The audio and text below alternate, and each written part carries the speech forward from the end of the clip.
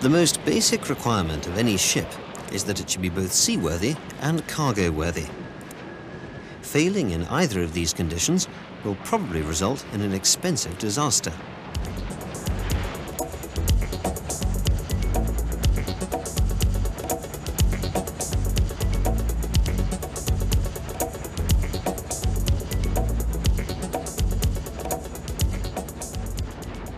Hatch covers play a vital role in ensuring that the ship is in fact both seaworthy and cargo-worthy.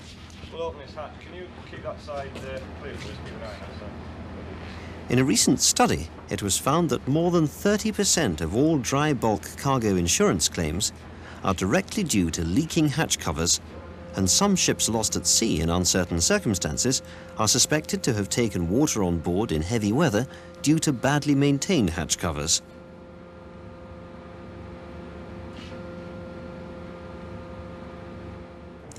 The vital role hatch covers play in maintaining the ship's sea and cargo worthiness makes it very important that both the officers and crew are fully aware of the significance of operating the hatch covers correctly and safely.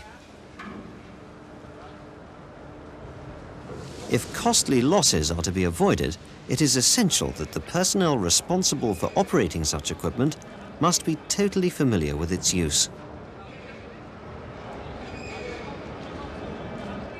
Incorrect use and inadequate maintenance will result in the rapid deterioration of hatch cover metal-to-metal contacts, compression bars, rubber seals, particularly the cross-joint seals, leaving the cargo hold unprotected against the ingress of water.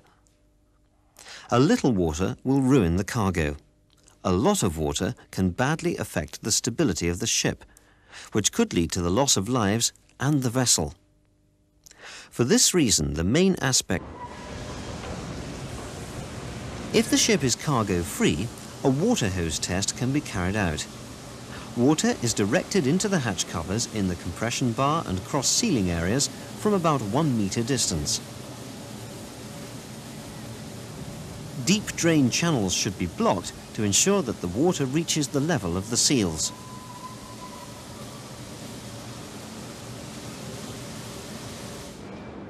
A more modern and increasingly used method of testing hatch cover efficiency is the ultrasound method.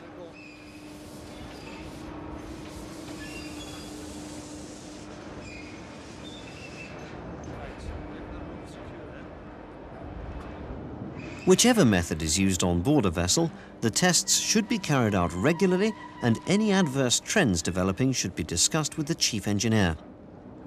This method can be carried out when the vessel is loaded. 15 is right on the border. Okay. So it's all right. Yeah. Okay, so it's okay. SDT has now developed a solution which meets these stringent industry requirements and helps surveyors with the required reporting work. With SDT's third generation of ultrasonic tightness testing equipment, tightness testing is now quick, efficient, repeatable and reliable. With the use of an ultrasound transmitter, which fills up the compartment under test with ultrasound, and an ultrasonic receiver, a qualified inspector can detect defects and problems in sealing systems of hatch covers and other openings in a fast and easy way with pinpoint accuracy.